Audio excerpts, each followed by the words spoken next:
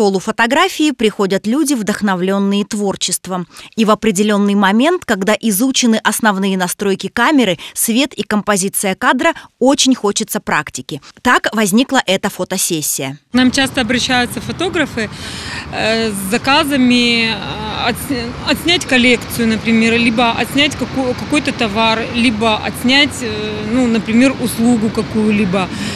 И у нас сегодня практическое занятие как раз-таки с реальным клиентом, а, одним из челябинских брендов. Мы фотографируем а, коллекцию одежды для, для выставки, для каталога. На практическом занятии фотографы работали с коллекцией челябинского бренда «Золотой квадрат» Марины Фомичевой. Элегантный и женственный кэжуал планировалось снимать в студии, но, встретившись, передумали и решили работать на фоне весеннего города. Условия, конечно, были никакие мы ожидали, но мы вышли из ситуации. Фотографы, которые уже практиковались в фэшн-съемке, знают, насколько важно уметь работать с моделью.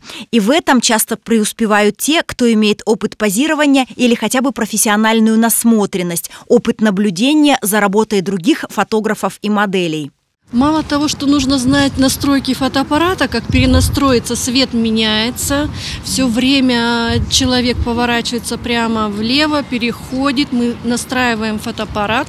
Что мы должны знать? Что мы должны модель снять во весь рост, сбоку, сзади, какие-то детали отснять.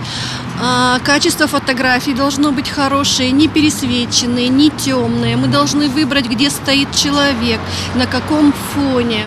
Кстати, это практическое занятие не просто фото в стол или ради портфолио.